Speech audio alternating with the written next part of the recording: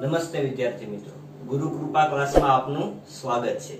તો મિત્રો, આપણે જે ટોપિકની વાત કરીએ છીએ, એ છે યુરોપિયન પ્રજાનું આગમન. હવે યુરોપિયન પ્રજાના આગમનમાં પોર્ટુગલ દેશે નવા જળમાર્ગની શોધ કરી. એના પછી ડચ લોકો આવ્યા, અંગ્રેજ અંગ્રેજ લોકો ઇંગ્લેન્ડથી આવ્યા, ફ્રેન્ચ લોકો આવ્યા પછી આપણે અંગ્રેજ અને ફ્રેન્ચ વચ્ચે તકરાર થયો લડત થયેલી, કર્ણાટક વિગ્રહ થયેલો, એની આપણે વાત કરી. અને ધીમે ધીમે કરતા અંગ્રેજ લોકોનું જે સત્તા છે, સમગ્ર ભારત વર્ષમાં ધીમે ધીમે વધવા લાગે છે.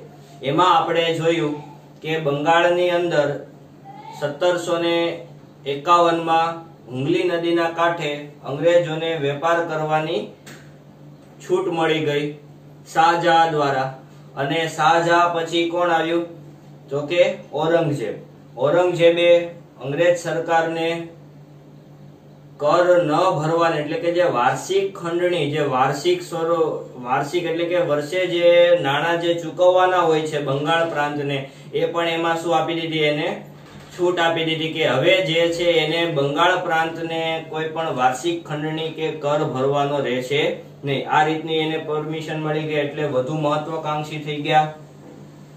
સમગ્ર ભારતમાં જે વેપાર કરે, જે નાણાં, જે આવક થાય નાણાંની, એ ક્યાં જતી રહેતી? તમામ પ્રકારની ઇંગ્લેન્ડ જતી રહેતી. હવે ભારતની અંદર જે ભારતમાં જે વસ્તુ ખરીદે છે, એના નાણાં તમામ પ્રકારના ઇંગ્લેન્ડ જતા રહેતા. ભારતમાં એક પણ નાણાં મળતા ન હતા. પછી થયું મુર્શિદ ખાને ખબર પડી કે ભાઈ અંગ્રેજ સરકાર છે વ્યક્તિગત ઉપજ મેળવવા લાગ્યા. એટલે કે જે કમાવા લાગ્યા એમ. જે વેપાર કરવા, વ્યક્તિગત વેપાર કરવા લાગ્યા. પછી બંગાળનો નવાબ બદલાણો. સિરાજુદ્દોલા આવ્યો. મહત્વકાંક્ષી હતો, ઉતાવળીયો સ્વભાવ હતો, જે આપણે વાત કરી. તો મહત્વકાંક્ષીના કારણે થયું એવું કે જે કરવેરો કરવેરો જે છે, ભરવા માટે એને કહ્યું પરંતુ વાટાઘાટો થઈ, કોઈ માન્યું નહીં. એટલે આખું યુદ્ધમાં પરિવર્તન થઈ ગયું. મીર જાફર અમીરચંદ રોબર્ટ ક્લાયના સમક્ષ જતા રહ્યા એક કાવતરા સ્વરૂપે. અને યુદ્ધની શરૂઆત થઈ ત્રેવીસ જૂન સત્તરસો ને સત્તાવન. તો એમાં થયું, અડધા દિવસમાં શું થયું? યુદ્ધ પૂર્ણ થઈ ગયું. હવે ચોવીસ પરગણાની જાગીર જે હતી, સિરાજુદ્દોલા પાસે કોની પાસે જતી રહી? અંગ્રેજ સરકાર પાસે જતી રહી. અને મીર જાફરને કહેવામાં આવેલું હતું કે અમે તને બંગાળનો નવાબ બનાવશું. તો મીર જાફરને પછી બંગાળનો નવાબ બનાવવામાં આવે છે. હવે તમે વિચાર કરો મિત્રો કે જે મીર જાફરને બંગાળનો નવાબ બનાવવામાં આવ્યો છે, તો શું તમે એમ કહી શકો કે મીર જાફરને તે ક્યારે ઉચકીને સાઈડમાં મૂકી દે? એવું કહી શકે કે ભાઈ કોઈ દી કરે જ નહીં, એવું મીર જાફરને ખ્યાલ હતો નહીં? પછી અંગ્રેજ સરકારના હાથમાં ચોવીસ પરગણાની જે જાગીર મળી ગઈ એટલે એના મનમાં એમ થઈ ગયું કે નહીં, ભારત ઉપર હવે આપણે ધીમે ધીમે કરતા વિજય મેળવી લેશું. એટલે મીર જાફરને બંગાળનો નવાબ એટલે બનાવવામાં આવ્યો હતો કે જેથી કરીને ત્યાંની જે પ્રજા છે એ હુલ્લડ ન મચાવી દે. કારણ કે રોબર્ટ ક્લાઇવ ન બની શકે, ત્યાંનો નવાબ બની જ શકે, સુલ્યા ન બની શકે. પરંતુ એનું એવું પ્લાનિંગ હતું કે મારે મીર જાફરને સેનાપતિ નવાબ બનાવવો છે, જેથી કરીને હું કહું એમ મીર જાફર કરે. તો હવે ટોપિકથી આપણે આગળ વધીએ. મીર જાફરને બંગાળનો શું બનાવવામાં આવ્યો હતો?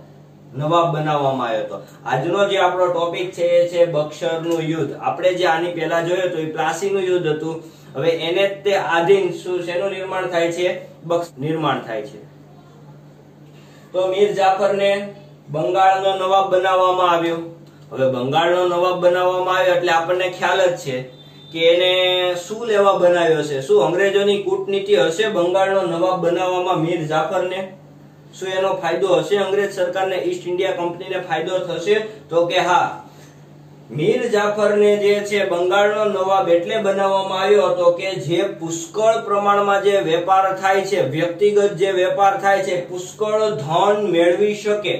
અને તમામ પ્રકારનું ધન ક્યાં જતું રહેતું? ઇંગ્લેન્ડ. ભારત જે છે સોને કી ચિડિયા તરીકે ઓળખવામાં આવતો. હવે સોને કી ચિડિયા એટલું સમૃદ્ધ ભારત હતું, ધીમે ધીમે ધીમે ધીમે, જોજો ભારતનું જે પડતીની આ બધી શું છે, શરૂઆત હતી. દરેકના સમયમાં એવો સમય આવતો જ હોય છે કે પડતીની શું થાય છે શરૂઆત? આ ભારતનો એવો સમય હતો કે ભારતના જે વ્યક્તિઓ છે જાગ્રત હતા અને ખ્યાલ બધો હતો, પણ કોના અંડરમાં હતા? મુગલોના અંડરમાં હતા. હવે ધીમે ધીમે કરતા કોના અંડરમાં જશે? અંગ્રેજોના અંડરમાં જશે. તો પુષ્કળ પ્રમાણમાં ધન મેળવવામાં આવ્યું હતું. તો ધન મેળવ્યું એટલે મીર જાફરને ધીમે ધીમે કરતો ખ્યાલ આવ્યો. કે ભાઈ, આ તો અંગ્રેજ સરકાર તો આપણને શું કરી રહી છે? કે આપણો તો ફાયદો ઉઠાવે છે. કે મને તો ખાલી એક નામની જ સત્તા આપી શેની તો કે હું બંગાળનો નવાબ છું. બાકી હું તો કઈ કરી જ નથી શકતો. જે કઈ નિર્ણય લે છે કોણ લે છે? ઈસ્ટ ઇન્ડિયા કંપનીના અધિકારો નિર્ણય લે છે. એ રીતે મીર જાફરને ખ્યાલ આવ્યો. હવે મીર જાફરને ખ્યાલ આવ્યો એટલે એને શું કરવા લાગ્યો? ડાયરેક્ટ વિરોધ કરવા લાગ્યો. ભાઈ, તમે જે કરો છો, આ બધું ખોટું છે એક કે. કે તમે ઈસ્ટ ઇન્ડિયા કંપનીની જે સ્થાપના કરી હતી, બરોબર, એને કરવેરા માટે છૂટી હતી. તમે તો વ્યક્તિગત બધા વ્યવસાય કરવા લાગ્યા. તમે તો જે બંગાળનો, હું નવાબ છું, તો મારા નિર્ણયને કોઈ ધ્યાનમાં જ નથી લેતું. જે કાંઈ નિર્ણય લ્યો છે તમે લોકો લ્યો છે. તો એનો વિરોધ કર્યો. તો ઈસ્ટ ઇન્ડિયા કંપનીને એમ થયું, એટલે કે રોબર્ટ ક્લાઈને લોકોને, અંગ્રેજ લોકોને એમ થયું કે ભાઈ, આપણે મીર જાફરને હવે હટાવી દેવો છે. કારણ કે હવે આપણા માટે કાંઈ કામ લાગતો હોય એવું લાગતું નથી. કારણ કે એને એવો માણસ જોતો હતો કે એની ઈચ્છા મુજબ શું કરે? તો કે કામ કરે. એની ઈચ્છા મુજબ એમ કે ભાઈ, આ પ્રદેશની અંદર આટલી આવક થઈ છે, તો એ આવકનું જે કોઈ પણ કાચો માલ છે અમને આપી દો અને ઓછા ભાવમાં લઈને ક્યાં જવા દેતા ઇંગ્લેન્ડ ત્યાંથી તૈયાર માલ થઈને ક્યાં આવતો ભારતની અંદર? હવે ઈ જ આપણો તે સ્ટોકની અંદર જે કાચો માલ છે, એમાં ફેરફાર કરીને આપણને આપણને લોકો શું કરતા હતા? વેચાણ કરતા હતા. તો એવા ઈશારાથી એ લોકો ચાલે ને એવા વ્યક્તિની એને શું હતી? જરૂર હતી. એટલે મીર કાસિમ જે સોરી મીર જાફર જે છે, એને ઉઠલાવી નાખ્યો. એટલે એને કાઢી નાખ્યો. અને કોને લાવ્યા? તો કે મીર કાસિમને લાવ્યા. એટલે મીર કાસિમને બંગાળનો નવાબ બનાવવામાં આવ્યો. હવે મીર કાસિમને જે છે, બંગાળનો નવાબ બનાવવામાં આવ્યો. પણ થયું એવું કે જે મીર જાફર કરતા મીર કાસિમ તો એવો મહત્વકાંક્ષી નીકળ્યો કે થયું એવું કે એ પોતે જ તે મીર કાસિમ કંપનીને શું કરવા લાગ્યો? કંદડગત કરવા લાગ્યો. બે તમે જે કરો છો એ ખોટું છે, એ હાલે નહીં. એટલે વધુ મહત્વકાંક્ષી થઈ ગયો એ તો. હવે થયું એવું કે મીર કાસિમથી અંગ્રેજ સરકારને શું લાગવા મળ્યો ભય લાગવા મળ્યો ડર લાગવા મળ્યો ભાઈ આ મીર કાસિમ જે છે, એ ધીમે ધીમે કરતો, આપણી જે સત્તા જે છે, એ આપણા હાથમાંથી લઈ ન લે. એટલે અંગ્રેજ સરકારે શું કરી તો કે પાછી કૂટનીતિ વાપરી. હવે અંગ્રેજ સરકારે કૂટનીતિ એ તો આપણને ખ્યાલ જ છે કે અંગ્રેજ સરકાર જે છે, એકલી શું, એકલી કૂટનીતિનો જ શરૂઆત કર્યા રાખશે અને ધીમે ધીમે કરતા સમગ્ર ભારત વર્ષમાં ફેલાઈ જશે. શેના આધાર લઈને તો કે કૂટનીતિનો આધાર લઈને. એટલે કે દગાખોરી એમ. કે જ્યાં જુઓ ને આ દગાખોરી. અંગ્રેજ સરકારનો એક નિયમ હતો કે ધીમે ધીમે કોઈ પણ રાજ્યમાં જવાનું. હવે એ રાજ્યમાં જો આપણને પરમિશન વેપાર કરવાની મળે તો તો કાંઈ વાંધો નહીં. પેલા તો શું કરવાનું? એનો જે સત્તા છે, આપણે કબજો કરવાનો, જો પ્રયત્ન કરવાનો, જો ન મળે તો શું કરવાનું? મિત્રતા કરવાની. અને ધીમે ધીમે કરતા મિત્રતામાં શું કરવાની? દગાખોરી કરવાની. એ જે સત્તા જે છે, કોના હાથમાં લઈ લેવાની? અંગ્રેજોના હાથમાં લઈ લેવાની. એ જ સેમ પરિસ્થિતિ આની અંદર થશે. તો શું? તો મીર કાસિમ છે, કંપનીને કંદડગત કરવા લાગ્યો. એટલે મીર કાસિમની જગ્યાએ પાછો કોને? તો મીર જે જાફર હતો, એના કરતા વધુ મહત્વકાંક્ષી કોણ હતો? મીર કાસિમ હતો. એટલે મીર જાફરને ફરી નવાબ બનાવવામાં આવ્યો. મીર કાસિમને કાઢી નાખ્યો. જોયું અંગ્રેજ સરકારનું? કે એને શું કર્યું તો કે ઘડીક મીર જાફરને રાખે, ઘડીક મીર કાસિમને રાખે, પાછો કોને લાવ્યા? મીર જાફરને પાછો બંગાળનો નવાબ બનાવવામાં આવ્યો છે. પછી થયું એવું કે જે મીર કાસિમ જે છે એનાથી સહન ન થયું. એ કે અંગ્રેજ સરકાર ધીમે ધીમે કરતા આપણી જે સત્તા છે ને સાવ ઉખેડી નાખવા માંગે છે કે અંગ્રેજ સરકારને જે આ પ્રાંત જોતો હોય એવું એને લાગ્યું. એટલે મીર કાસિમ ક્યાં ગયો? અવધના જે નવાબ હતો એના શરણે ગયો. હવે અવધના નવાબના શરણે ગયો ને એટલે અવધના નવાબને આખી વાત કરી ભાઈ અંગ્રેજ સરકાર છે, બંગાળ પ્રાંતમાં આવી, વેપાર કરવા માટે.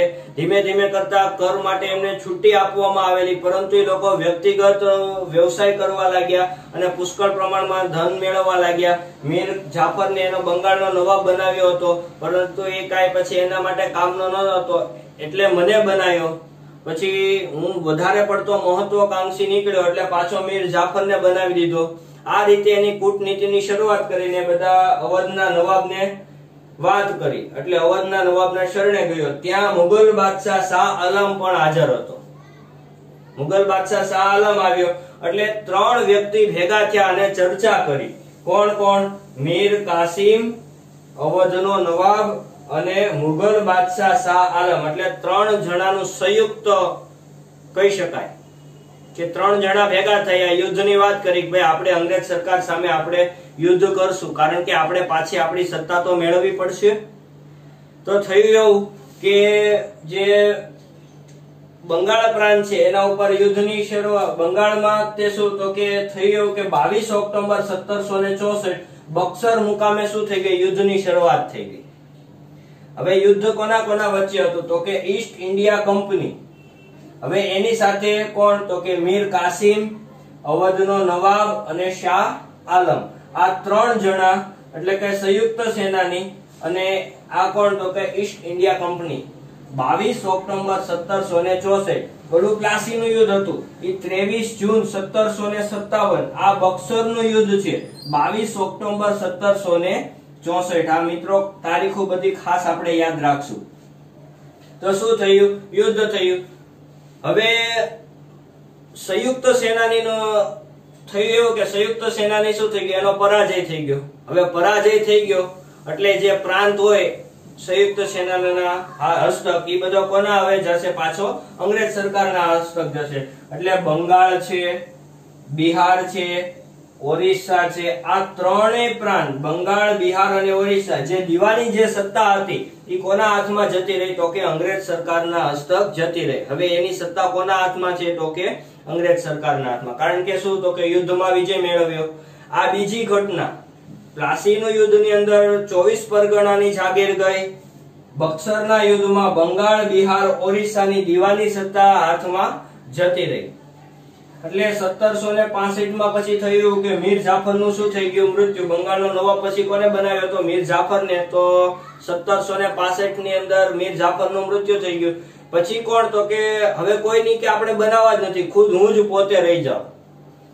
એટલે બંગાળનો નવાબ કોણ બની ગયો પછી? તો કે રોબોટ ક્લાય. રોબોટ ક્લાય ખુદ બંગાળનો નવાબ.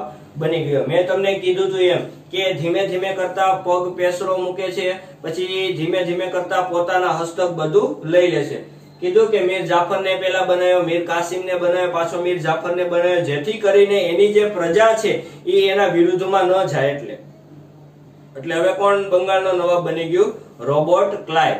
આ બધી અલગ અલગ પ્રકારની ઘણી બધી ઘટનાઓ જે છે કે જે અંગ્રેજ સરકાર જે ભારતની અંદર કઈ રીતે પ્રવેશી હતી ક્યાંક ને ક્યાંક આપણા ભારતીય લોકોની ભૂલના કારણે, ક્યાંક અંદરો અંદર વિખવાદના કારણે, આવી બધી ઘણી બધી ઘટનાઓના કારણે જે અંગ્રેજ સરકારની પાસે આપણી તમામ પ્રકારની સત્તાઓ જય ચડી હતી. અસ્તુ મિત્રો.